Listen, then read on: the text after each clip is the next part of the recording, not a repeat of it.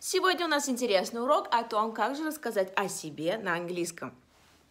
Не забываем подписываться и ставить лайки.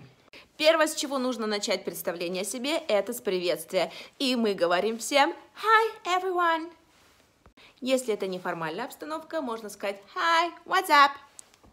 Шаг номер два. Вы должны сказать, как вас зовут.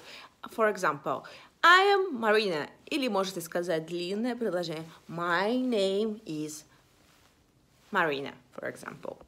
Шаг номер три. Вы говорите о своем возрасте, если вы не стесняетесь. Например, I am 32 years old. Шаг номер четыре. Вы говорите, откуда вы. Например, I am from Moscow, Russia. Шаг номер пять. Вы говорите о том, где вы работаете. Например, I am an English teacher. Шаг номер шесть. Ваше хобби. Например, I'm fond of dancing, drawing, cooking, sports, and anything else. What you are fond of. Шаг номер семь, он как вишенка на торте. Вы говорите какой-то интересный факт о себе. Например, если это касается меня, I am mother of four kids, two girls and two boys, and they are twins.